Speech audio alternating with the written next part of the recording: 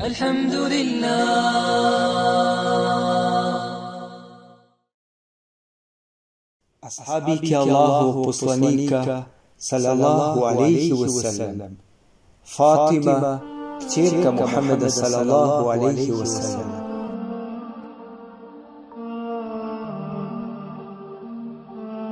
Fatimina životna priča je blistavo poglavlje iz poslanikovog sallallahu alaihi wasallam života. Ona je najbolji primjer kako se živjelo u poslaničkoj kući i kako se živjelo u vrijeme ashaba. Fatima je rođena pet godina prije poslanstva u godini izgradnje Kabe. Njena majka je Hatidža, prvakinja koju je darovana plemićka loza, lijepo ponašanje i veliko bogatstvo. Prije Islama zvali su je čista i govorili su za nju da je prvakinja Kurejšija. Hatidža je povjerovala poslaniku sallallahu alejhi ve sellem kada drugi nisu. Priznala ga je kao poslanika kada su ga drugi u lažu tirivali i pomogla mu je svojim imetkom kada su mu drugi uskratili imetak. To je Fatimina majka, a otac joj je prvak poslanika, pečat vjerovjesnika i predvodnik bogobojaznih, kako je divno njeno porijeklo. Fatima je bila posljednje njihovo dijete i pružali su joj svu svoju ljubav, pažnju i nježnost. Ona je zapravo bila poslanikova sallallahu alejhi ve sellem ljubimica. Radovalo ga je ono što je nju radovalo, a ljutio se na ono na što se ona ljutila. Međutim, roditeljska ljubav nije bila prepreka ispravnom odgoju i pripremi za nošenje odgovornosti.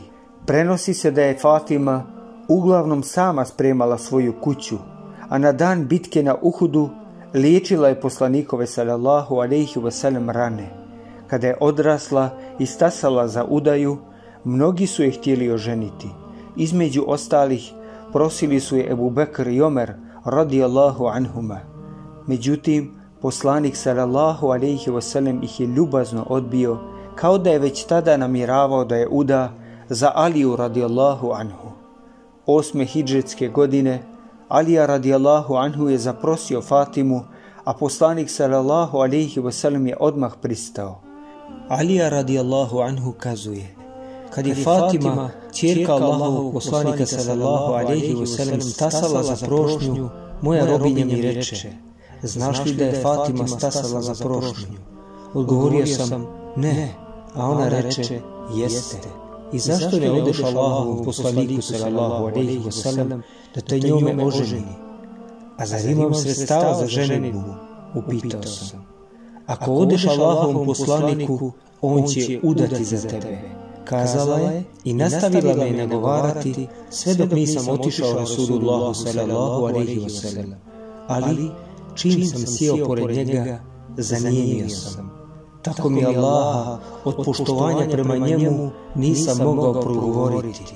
Allah, poslanik sallallahu alaihi wa sallam, upitao je, zašto si došao, treba li ti nešto? A ja sam samo šutio, pa je upitao, da nisi došao da prosiš Fatimu? Odgovorio sam, da. A on je upitao, imaš li nešto da je daš kao vjenčani dar?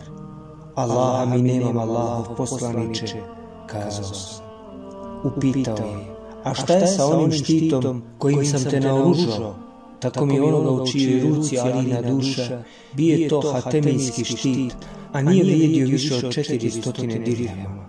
Kazao sam, kod mene je. Poslanik sallallahu alaihi wa sallam kazao je, udaću je za tebe, pa je donesi taj štit kao vjenčani dar. Taj štit bio je vjenčani dar Fatime kćerke Allahovog poslanika sallallahu alaihi wasallam.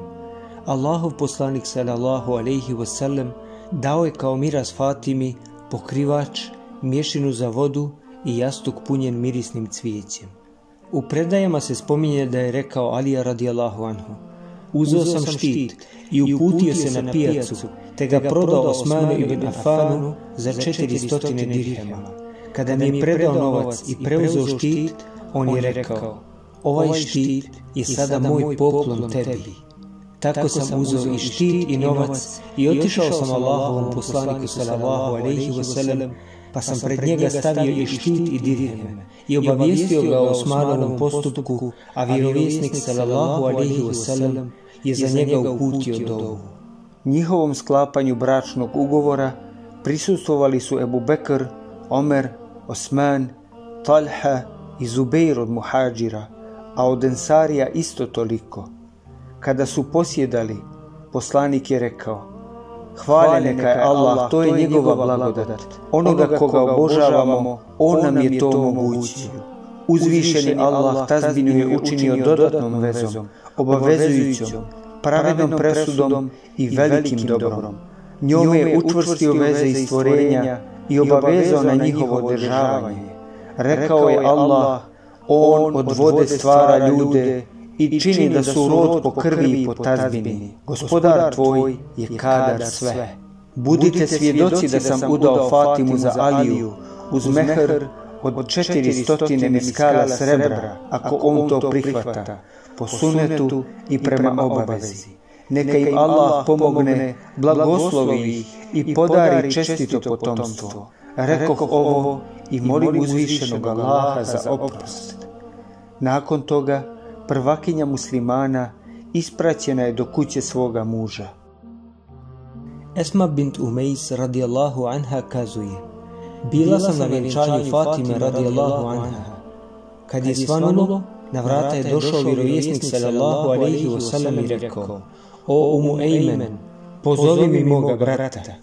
A ona je rekla, oženit ćeš ga svojom čerkom, a nazivaš ga bratom? Da, umu Ejmen, odgovorio je. Kada je došao Alija, poslanik sallallahu alaihi wasallam, poprskao ga je vodom i uputio dovu za njega, a onda je kazao, Umu Ejmen, pozovi mi Fatimu. Fatima je došla, spotičući se u hodu od stida, a poslanik sallallahu alaihi wasallam rekao je, smiri se, udao sam te za meni najdražega iz moje porodice.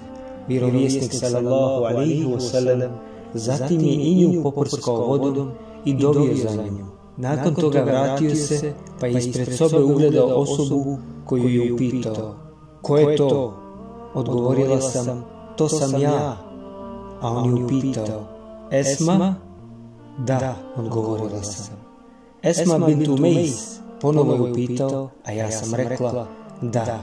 Došla si na vjenčanje čerke Allahovog poslanika iz poštovanja prema njemu upitao je. A ja sam odgovorila, da, pa je uputio dovu i za mene. Burejda kazuje, kada je Alija zaprosio Fatimu, Allah poslanik sallallahu alaihi wasallam rekao je, neophodno je za svadbu napraviti gozbu. Sad reče, dajem ovna, a neke ensarije donesoše mu nekoliko mjerica brašna. Na večer, kad je mladoženja trebao ući kod mlade, poslanik sallallahu alaihi wasallam reče Ali, Alija, nemoj poduzimati ništa dok se ne sretnemo. Vjerovjesnik sallallahu alaihi wasallam zatražio da mu se donese voda, pa se abdestio, a onda njome polio Aliju i proučio dovu. Allahu moj, blagoslovi ih i podari im bereket i blagoslovi njihovo dijete. I blagoslovi njihovo dijete. Poslanik sallallahu alejhi ve sellem nije mogao podnijeti da bude daleko od njega, pa je odlučio da ih nastani u svojoj blizini. Najbliže kuće bile su kuće Harisa ibn An-Numana. On je došao poslaniku sallallahu alejhi ve sellem i rekao: Čuo sam da želiš preseliti Fatimu bliže sebi. Moje kuće su najbliže tebi u plemenu Benu An-Najjar, a ja i moj imetak pripadamo Allahu i njegovom poslaniku tako mi Allaha, Allahov poslaniče. I meta koji uzmeš, draži mi od imetka koji ostaviš. Poslanik je odgovorio, istinu si rekao, Allah te blagoslovio. Nakon toga preselio je Fatimu i nastanio je u jednoj od Harisovih kuća. Allahu poslanik sallallahu alejhi ve sellem je dolazio na njena vrata svako jutro nakon sabahskog ezana uhvatio bi se za štokove njenih vrata i rekao Assalamu alaikum ahlul bejt, on će vas potpuno očistiti. Kada bi se poslanik sallallahu alaihi wasallam vraćao s putovanja, prvo bi odlazio u džamiju i klanjao dva rekata, zatim bi otišao Fatiminoj kući i dugo sjedio, a tek nakon toga bi otišao svojim ženama. Prenosi Muhammed ibn Kajs da je Allah poslanik sallallahu alaihi wasallam jednom prilikom otišao na putovanje zajedno sa Alijom. U njihovom odsustvu Fatima je napravila dvije narukvice, ogrlicu i naušnice, a na kućna vrata stavila je ukrasni zastor s namjerom da ih što ljepše dočeka. Kad su se vratili, poslanik sallallahu alejhi ve sellem je ušao kod nje, a ashabi su ostali pred vratima. Dugo se zadržao kod nje, tako da nisu znali da li da čekaju ili da se raziđu. Potim je izašao, vidno ljut i sjeo na mimber. Fatima je shvatila da se naljutio zbog narukvica, ogrlice, naušnica i zastora. Onda je ona sve to poskidala i poslala poslaniku sallallahu alaihi wasallam. Onome ko je to nosio rekla je Reci, Reci poslaniku da ga selami kćerka i da ovo utroši na Allahovom putu. Kada je taj čovjek došao kod njega, poslanik sallallahu alaihi wasallam je rekao Dobro je uradila, otac bi sve dao za nju. Dunjaluk nije za Muhammeda sallallahu alaihi wasallam niti za njegovu porodicu. Da Dunjaluk vrijedi kod Allaha koliko krilo komarca ne bi nevjenik na njemu popio ni gutljaj vode. Ne bi nevjenik na njemu popio ni gutljaj vode. Alija i Fatima radijallahu anhuma živjeli su skromno, oskudno i tegobno, ali su bili strpljivi. Hennad bileži od Ata'a da je kazao, obavješten sam da je Alija radijallahu anhu rekao, desilo se da danima ni mi, ni vjerovjesnik sallallahu alaihi wa sallam nismo imali ništa. Jednog dana izašao sam i na putu ugledao dinar. Stajao sam neko vrijeme u nedoumici, uzeti ga ili ostaviti. Konačno sam odlučio da ga uzmem jer smo bili u teškoj situaciji i otišao sam prodavačima i za taj dinar kupio brašno koje sam odnio Fatimi i rekao joj Zamijesi ovo i ispeci kruh. Mijesila je snažno tako da je uvojak udarao po trepavicama. Kad je ispekla kruh, otišao sam vjerovjesniku sallallahu alaihi wasallam i obavijestio ga o tome, a on je kazao, jedite, to je obskrba kojom vas je obskrbio Allah. Šabi je kazao, Alija radijallahu anhu rekao je, kada sam se oženio Fatimom, nismo imali postelje osim ovčije kože na koje smo noći spavali, a danju smo na nju stavljali hranu za našu devu, koja nam je donosila vodu i nisam imao drugog sluge osim nje. Mujahid kaže da je Alija rekao, jedan put sam u Medini bio veoma gladan, pa sam izašao da potražim neki posao po Medini. Ugledao sam neku ženu koja je bila sakupila suhe zemlje. Shvatio sam da je želi natopiti vodom, pa sam prišao i pogodio se s njom da mi za svaku kante vode koju donesem plati jednu datulu. Donio sam 16 kanti i ruke su mi otekle, a zatim sam otišao onoj ženi i rukom je pokazao da me isplati. Izbrojala mi je 16 datula, pa sam otišao vjerovjesniku sallallahu alaihi wasallam i ispričao mu to, pa je jeo sa mnom. Dakle, Fatima je živjela jednostavno i češće je bivala u oskudici nego u obilju. Jednog dana Ali je rekao Fatimi radijallahu anhuma Allah mi, toliko sam umoran od silnog navodnjavanja da me prsa bole. A Allah je tvom ocu dao roblje, pa otizi i zamoli ga da ti da slugu. Fatima radijallahu anha rekla je, tako mi Allaha i meni su ruke otekle od stalnog mljevenja. Nakon toga otišla je vjerovjesniku sallallahu alaihi wasallam, a on je upitao, zašto si došla k čeri? Ona reče, došla sam da te vidim. Bilo joj je stid da pita za slugu pa se vratila. Alija je upitao, šta si uradila? A ona je odgovorila, bilo me je stid da ga pitam. Tada su otišli zajedno i Alija radijallahu anhu je rekao, Allah poslaniče, istrpilo me navodnjavanje i prsa me bole. A Fatima je kazala, meni su ruke otekle od mlevenja, a tebi je Allah dao roblje i obilje, pa nam daj slugu.